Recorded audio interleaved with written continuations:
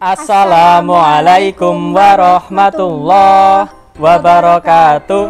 Bagaimana kabarnya anak-anakku kelas 3? Semoga kalian dalam keadaan sehat walafiat. Di sini, Bapak dan Ibu guru akan memperkenalkan diri sebagai guru kelas 3. Saya Bumia sebagai wali kelas 3A. Saya Pak Tara sebagai wali kelas 3B. Di semester 1 ini, karena baru pandemi, maka melalui video. Jangan lupa selalu pantau akun YouTube MI Kurota Ayun. Kalian bisa cari di kolom searching MI Kota Sleman. Jangan lupa like dan subscribe dan klik loncengnya agar kalian tidak terlambat lihat video dari MI Kota Sleman.